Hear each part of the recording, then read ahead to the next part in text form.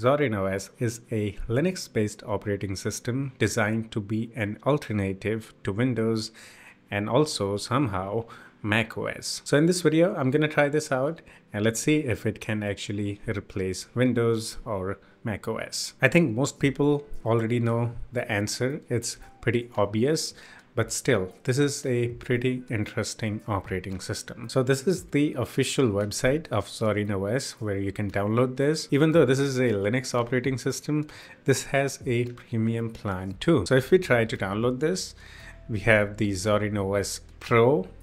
Okay, it's uh, almost $50 or $48 including tax. okay, and we have the core that is actually free and it says for basic use and we have the education edition. But there isn't much difference between pro and uh, core version the free version. If you buy the premium version you'll get more themes and layouts and it will have the professional grade creative applications pre-installed. And I don't think it's gonna have like Adobe softwares all that maybe some free and open source stuffs pre-installed which you can install anyway and some uh, advanced productivity tools and whatnot. And actually here is the thing. Bundled with alternative to over $5,000 of professional softwares basically the alternatives. I have downloaded the free one obviously so let's test this out. First of all I'm not gonna lie this operating system actually looks clean. I'm actually impressed. By default, yeah, it resembles the Windows, but everything looks clean. Okay, so we can customize this. Let's actually go into the Zorin appearance option here and let's try to customize it. So we have uh, layouts here, four layouts. If we want to get more, oh, Windows 11 layout is also there, but I have to get the premium version of Zorin OS, then I can get the Windows 11 layout. Okay, I, I, guess I'll, I'll be happy with the Windows 10 layout. If I wanted to change it to something else, it would be the Windows 11 style, which is locked behind the premium plan. So we can actually enable the dark theme. I think it will look really cool. Yeah, look at that. I like this. I mean, dark theme is better. Okay, it's personal preference. I mean, okay, we have effects. Uh, let's actually enable the jelly effect. Let's see what it does. Oh, the wiggly wiggly effect. This is like Mac OS style effect. Okay, desktop cube. Okay, let's leave it as it is. So by default, this thing actually is clean. I'm not gonna lie. I'm impressed. So it looks like it's using the GNOME customized version. There is one interesting thing about this operating system is that if I go into the all apps section here, there is this app called Windows App Support. Basically with this, you can install Windows applications to it easily. Okay, so let's open this up. I think I have to install it yeah it's not pre-installed somehow so let's install it. While it's installing let's do some other stuffs. Let's check on what we have. Oh we have the LibreOffice open source Microsoft Office alternatives installed. Sound and video uh, some webcam applications are here. Okay system tools. Yeah everything just looks clean. Okay utilities archive manager and all that. Everything just looks clean. And one more thing i want to show you guys here is that let's say i just moved to the zorin os and i'm looking for the terminal and i accidentally type here cmd when i do that it actually shows me the terminal. Now if i type here task manager look at that system resources shows up, even though that's not the name of this thing. It's a default GNOME system resources application. Okay, it's installed and let's test this out actually.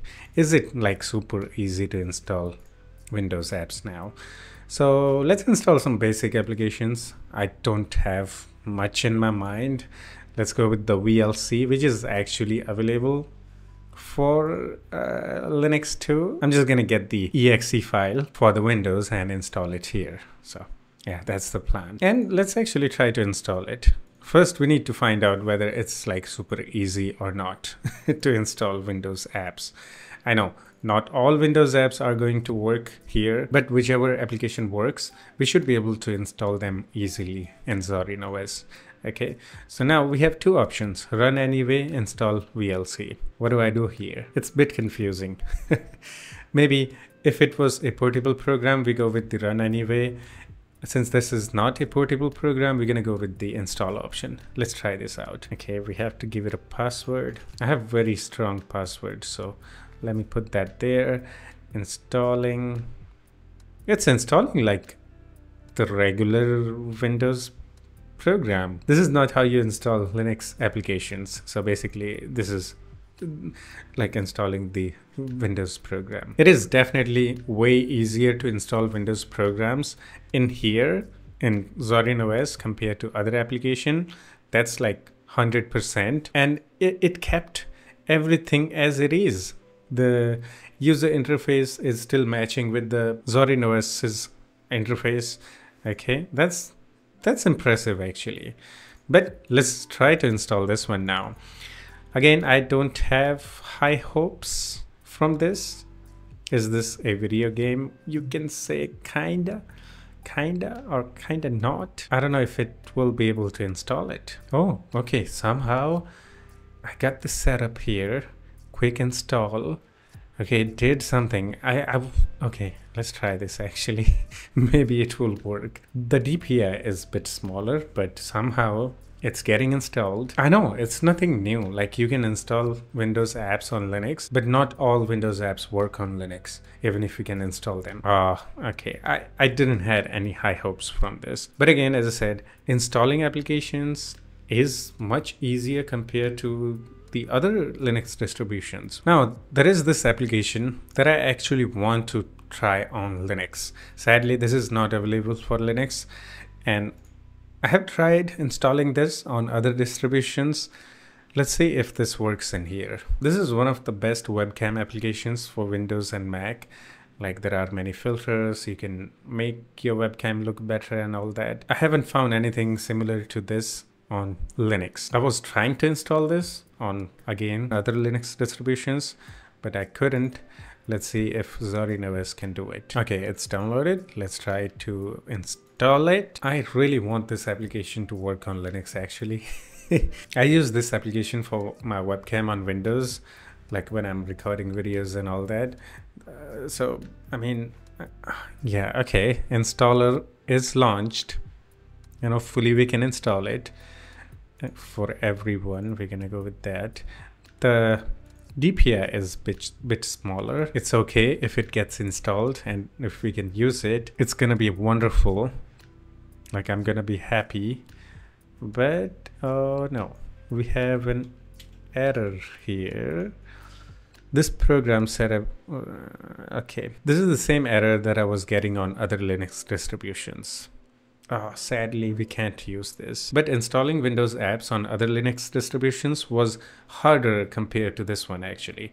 This is like simple. It does everything automatically in the background. You just need to launch the exe file and it will auto configure all the settings in wine and also bottles. It's actually really good Linux distribution if you want to install Windows applications. Again, all Windows apps won't work, but whichever works, yeah, installing them will be just much easier. To be honest, I don't know what else to check. I was like hoping maybe it will support more Windows apps compared to other Linux distributions because it has this dedicated option called Windows App Support thingy. Yes, it is definitely better than other Linux distributions. It makes installing Windows apps like 100 times easier, but the app support remains the same. It also supports similar amounts of Windows applications as the other Linux distributions. So just like me, if you're thinking maybe Zorin OS will support more applications, forget about it. Okay, yes, again, I'm just going to repeat myself again and again. This makes installing Windows apps easy, but it still can't run all the Windows apps. To run Windows apps on Linux, you can use any Linux distributions that you want. You don't have to use the Zorin OS. But if you're like you want a good looking Linux distribution, This is actually pretty cool. It has really nice user interface, themes, animations, which look cool. It will give you the look and feel of Windows or Mac style. Other than that, I mean, this is just another Linux distribution. Now, if we look at this operating system from a Linux user perspective. Now I want to know what kernel it's using, the version, then it becomes more disappointing Linux distribution for a Linux user. Because if you go into the about section and here you can get more info about your hardware plus the operating system. It's the Zorin OS 17 uh, and all that. And somehow, I don't know why, they have hidden the, the kernel version that it's using by default. Do I have to type this uname r to check the kernel version from the terminal? Let's try to open the terminal. Let's actually put this here. Oh, okay, that's how you check it. Now, again, as I said, from the Linux perspective, this is disappointing that it's using the Linux kernel version 6.8. The latest stable Linux kernel is now actually 6.14. Compared to that, this is really old Linux kernel. And this thing is based on Ubuntu. Even the latest Ubuntu 25.04 is actually using the latest stable Linux kernel 6.14. Higher kernel means it's better. The Linux operating system is better. It will have improved performance. It will support more and new hardwares and all that. So yeah, this is something that like if you become a Linux user, you want relatively new Linux kernel on your system for better performance and all that. Okay, so yeah, from a Linux user perspective, Zorin OS is kind of whatever. The true Linux users might not use this, at least the power user who's looking for to do some work or just want the newer hardware support and better performance and all that. Okay, so that's that. 6.8 is a really old Linux kernel. Okay, that's all you need to know. Other than that, again, as I said, I'm not going to talk too much here now. This is a like pretty good operating system. Okay, maybe for your old laptop or PC, it has a really good user interface. It's easy to use. Even installing Windows apps on this thing is easier. Since I know a little bit about the Linux now, I don't see myself using this. Even if I have to, uh, you know, choose Linux over uh, Windows. Let's just say, for example, I would go for something else like Ubuntu, maybe even Arch. Maybe not actually. Maybe I'll use Arch based Linux distribution, not like fully Arch, because maintaining Arch is just too hard. I, I always recommend Ubuntu because I have used Ubuntu actually a lot after testing a lot of Linux distributions. And I think Ubuntu is like the perfect Linux distribution for new users and also for power users okay? It's the most popular linux distro out there for a reason because it's actually good okay? Once you become expert i mean you can go for arch linux or even make your own linux distribution and all that. I've seen some creators making their own linux distribution but still if you want to try Zorin OS, you can. I mean, you can also try it on virtual machine, or if you have a spare laptop. That's a, that's what I'm using right now. I have installed this on my spare laptop. So, final thoughts on this operating system. If you have an old laptop, maybe you want to have something like this. This operating system actually looks clean.